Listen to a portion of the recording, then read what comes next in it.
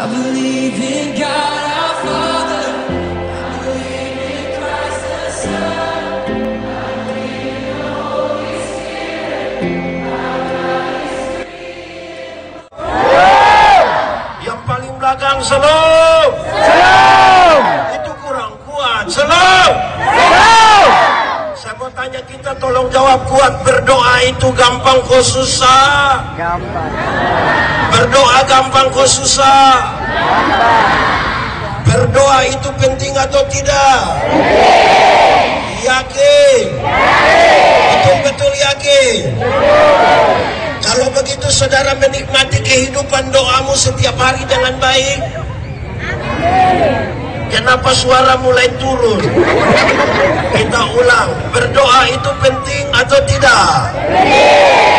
Berdoa gampang atau susah?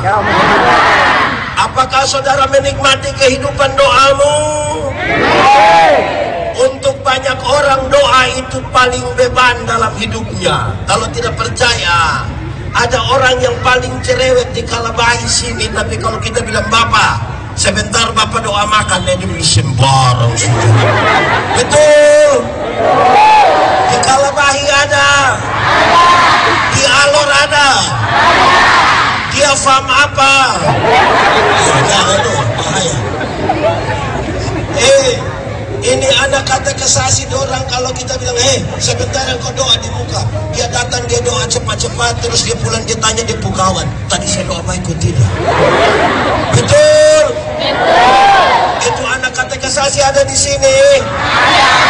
Dia pakai baju warna putih. Soal di dalam ini. Oke, baik. Karena itu saudara-saudara, Tuhan Yesus mau kasih tahu. Karena doa itu penting. Karena doa itu harus dilakukan. Maka dia kasih tahu.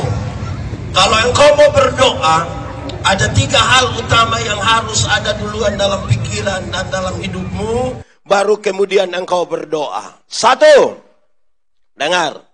Kalau engkau mau berdoa, dia mau kasih tahu. Satu, jangan berdoa seperti orang munafik.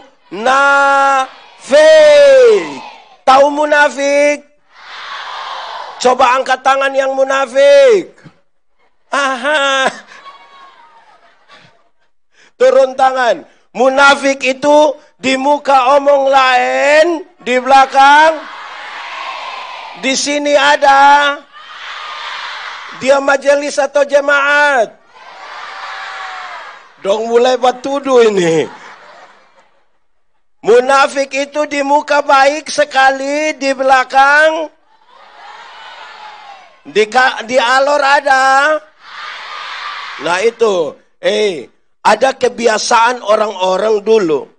Ketika mereka mau berdoa, mereka menggelar tikar di pinggir jalan. Berdoa sekeras-kerasnya supaya dilihat oleh orang. Tuhan Yesus bilang, kalau engkau berdoa seperti itu, engkau telah mendapatkan upamu. Engkau telah mendapat apa? Kalau engkau mau berdoa, masuklah ke dalam kamarmu. Kenapa Tuhan suruh masuk kamar? Rumah orang Yahudi itu hanya ada satu kamar tidur. Berapa kamar? Jadi kalau Tuhan suruh masuk kamar, itu berarti doa itu privat betul. Doa itu pribadi sekali. Kenapa saudara ini kemudian menjadi penting? Kamu yang akan berdiri dan berdoa bagi banyak orang, harus sudah selesai hubungan pribadi dengan Tuhan di dalam kamar tidurmu. Amin.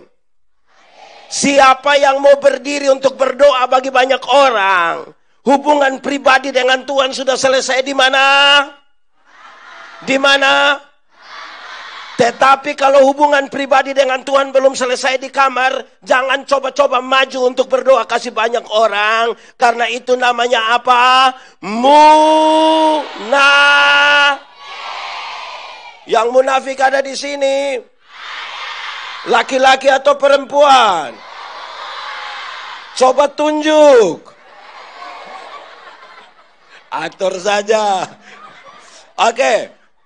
Pertama Tuhan bilang apa? Kalau engkau berdoa jangan seperti apa? Yang kedua dia kasih tahu. Kalau engkau mau berdoa, ingat baik-baik. Ingat baik-baik. Jangan bertele-tele. Jangan apa? Jangan apa? Kenapa jangan bertele-tele saudara? Karena relasi itu lebih penting dari kata-kata. Relasi itu lebih penting dari ada banyak orang terlalu memperhatikan kata-kata sampai lupa membangun relasi dengan Tuhan. Padahal yang lebih penting itu adalah relasi, bukan kata-kata. Amin kok. Saudara-saudara, saya mau kasih tahu saudara, kalau saya dengan Bapak ini kami dua ada relasi, kami dua saling kenal, saya jalan kaki, Bapak Tuhan naik motor, ketemu saya di jalan tanpa saya minta dia berhenti. Tanpa saya minta, karena kami dua punya relasi. Tapi kalau kami dua tidak saling kenal, kami dua tidak ada relasi, saya jalan kaki, Bapak Tua naik motor, ketemu saya di jalan, dia berhenti juga. Tapi dia tanya, ojek kok pak? Relasi lebih penting dari kata-kata. Amin kok? Amin. Ketiga, ketiga. Tuhan Yesus mau kasih tahu, kalau engkau berdoa, taruh duluan dalam pikiran dan perasaanmu. Taruh kuat-kuat dalam pikiran dan perasaanmu bahwa Tuhan tahu, bukan Tuhan tidak tahu. Tuhan tahu kok tidak? Tuhan tahu kok tidak? Tuhan tahu kok tidak? Nah kenapa kok kamu berdoa sama ke Tuhan tidak tahu? Tuhan tahu kok tidak?